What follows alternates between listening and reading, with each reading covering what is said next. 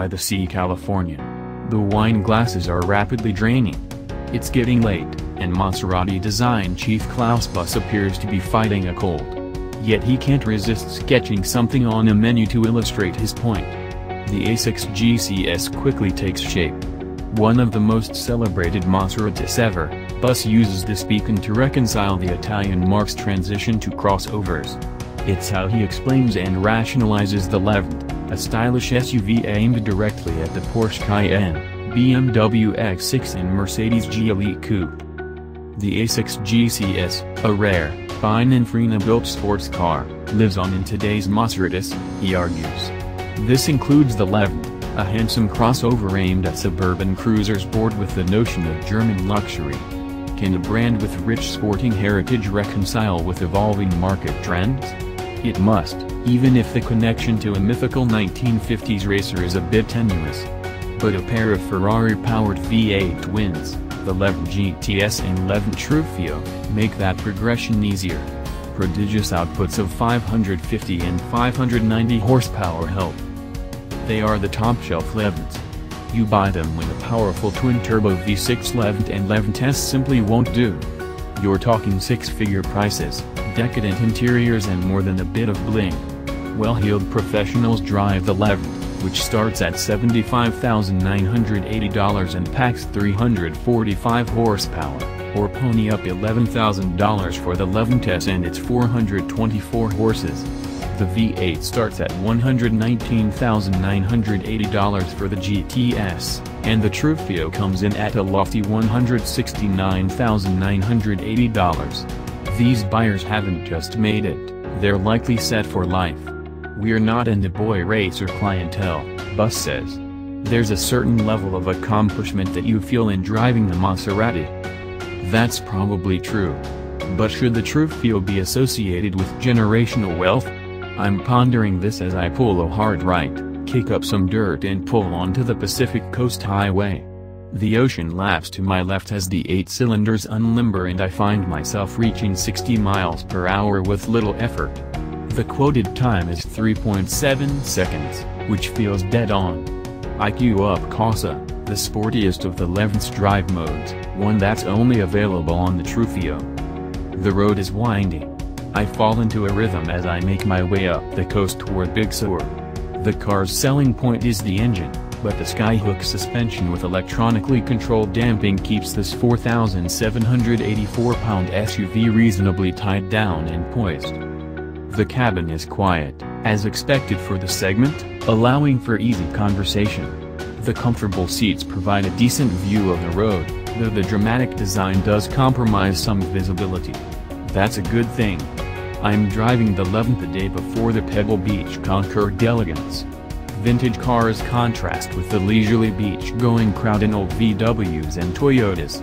With a long hood, proportionally attractive curves and just a little bit more chrome than you typically see on a modern vehicle, the Maserati gets plenty of glances. Focusing again on the Levante as the road gets more challenging, I notice the steering's satisfying weight, though the Cayenne Turbo's is better. Corsa fully airs out the exhaust valves during acceleration, and the Levante produces a growl that's obvious but not ridiculous. It sounds a little understated, considering the 590 horsepower engine under the Levante Trofeo's long hood is literally Ferrari red, it has red cylinder heads and a red intake manifold, and it is built for Maserati and Maranello. Ferrari actually produces all of Maserati's engines, a legacy of the late Fiat Chrysler CEO Sergio Marchionne, who insisted Maserati and Alfa Romeo remain anchored to their Italian heritage, which means mechanicals from Italy whenever possible. Originally, the Levante was supposed to be built in Detroit on the Grand Cherokee platform. The Levante's engine is not identical to the 3.9-liter V8 in the Ferrari Portofino in 488, though it is built on the same line. Maserati's 3.8-liter mill has different crank and camshafts and the cylinders fire in a different order. Still, it's amusing how often enthusiasts and even Maserati bring up the Ferrari connection. Did you know Ferrari builds Maserati's V8? Take a sip of Chianti.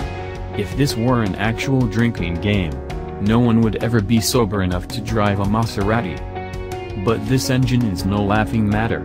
Paired with the ZF 8-speed automatic transmission, it's powerful, eager and provides the level true feel with a spirit that does hark back to the A6 GCS. Technically, that car had six cylinders, but let's not get in the way of a good story. The 550 horsepower version in the GTS is more than capable. They both make 538 pound-feet of torque. I hardly noticed the difference during back-to-back -back drives. The Trofeo model features Fiore natural leather with accented stitching, a trident on the headrests, and a custom instrument cluster.